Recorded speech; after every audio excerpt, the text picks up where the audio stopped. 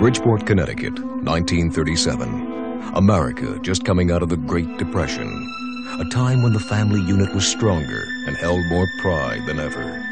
When the snowman, a deaf-mute war hero, is falsely accused of murder, nine-year-old Sarah convinces her attorney father to defend him. Father, if you don't know, they'll put him in the electric chair. Did you kill Robert Najarian?